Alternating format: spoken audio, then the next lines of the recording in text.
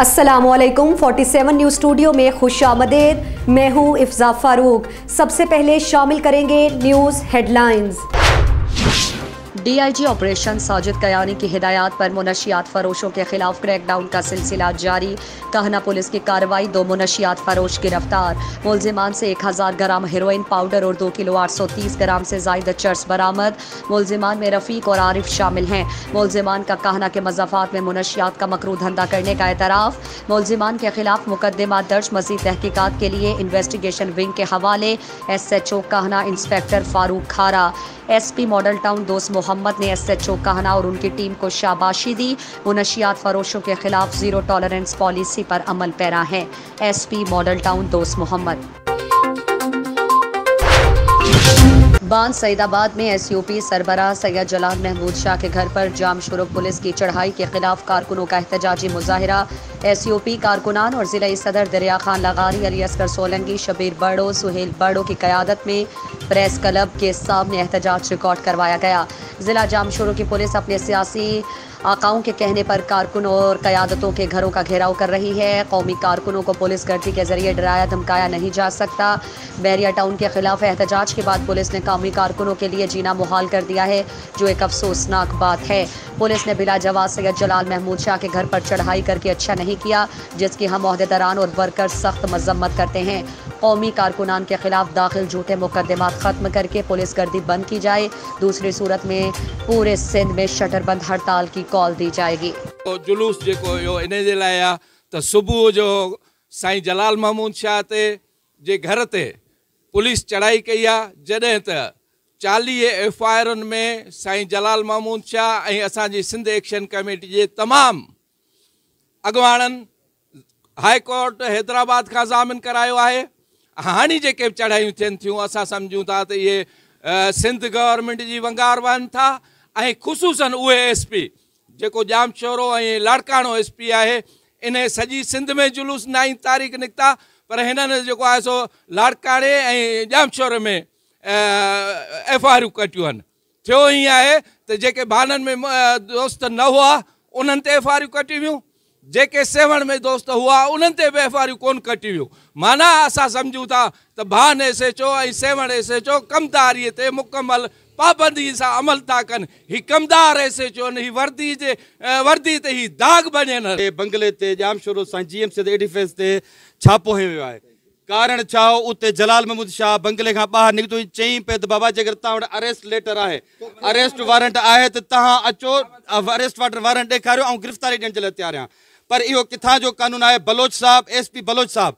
Bloch sahib लाइ हिकिड़ो message आहे त बाबा, बलोच तमामु गैरतमंद हूंदा आहिनि। कहिड़ा बलोच आहियो? जो सिंध गवर्नमेंट जी कमदारी पिया कयो, जे सिंध गवर्नमेंट तव्हांखे न बि थी, त बि तव्हां उहे वाठागिरी इस्तेमालु करे जी एम सी जे घर तूं अरेस्ट करण आयो या किथां जी इज़त फज़ीलत आहे?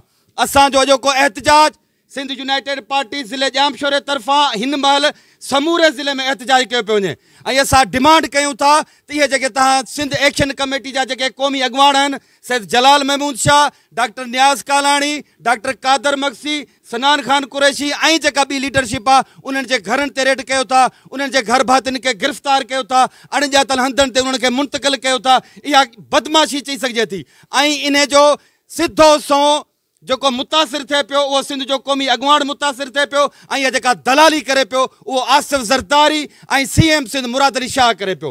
असां अॼोको एहतजाज रिकॉर्ड करायूं था, ऐं सुभाणे ताईं एहतजाज जी काल अची वेंदी, ऐं असां जेका मुसलसिल बरबरियत सिंध जे आवाम जे मथां सिंध हुकूमत करे पई थी, उन जे लाइ मुसलसिल पुरअमन हलंदड़ तहरीक जेका हले पई थी उनखे सबूतात करण जे लाइ अॼु सुबुह जेको सैद जलाल महमूद शाह साईं जी एम जे पोटे जे घर ते चढ़ाई थी आहे हीउ अॼोको एहतजाज ख़ुशूस उन जे लाइ आहे।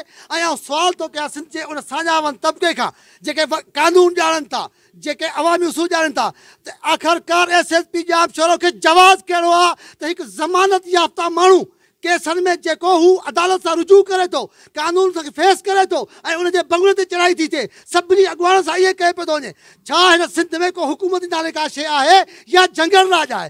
पीपुल्स पार्टी जी जेका मोकल, लोकल जेका मौजूदा क़यादत आहे, उहा हिन ख़ाम ख़्याली माँ निकिरे, त सिंधी माण्हुनि जो सेंटीमेंट मटिजी चुको आहे।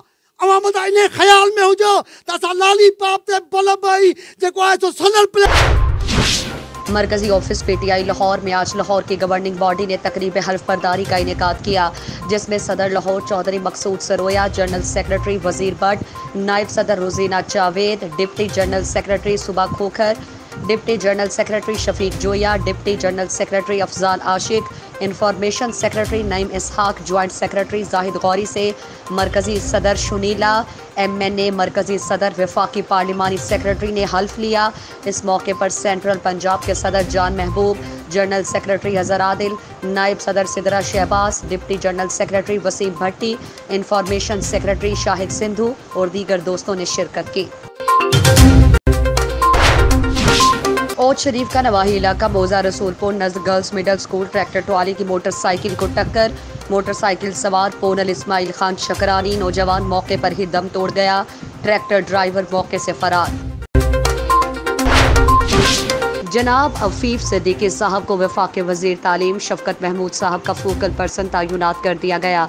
उनके तयनाती का नोटिफिकेशन भी जारी हो चुका है। मुख्तलिफ़ पार्टी रहनुमाओं ने अफीफ सदीकी साहब को फोकल पर्सन तयनत होने पर दिल की अता गहराइयों से मुबारकबाद पेश की और कहा कि पाकिस्तान तहरीक इंसाफ के लिए बड़ी खुशाइन बात है कि अफीफ सदीकी साहब जैसे मेहनती और मुखलिस वर्कर सामने आ रहे हैं। समाजी कारकुन अदिल शहजाद और चौधरी अब्दुल माजिद ने भी उनके फोकल पर्सन तयनत होने पर उनको दिल की अता गहराइयों से मुबारकबाद पेश की और उनके लिए नेक तमन्नाओं का इजहार किया।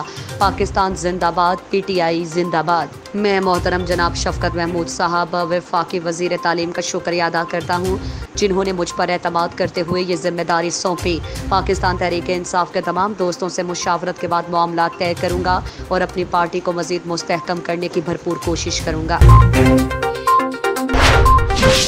हेडलाइंस आपने जानी, मजीद खबरों और अपडेट्स के लिए देखते रहिए 47 न्यूज़ इसके अलावा आप हमें फेसबुक और ट्विटर पर भी ज्वाइन कर सकते हैं।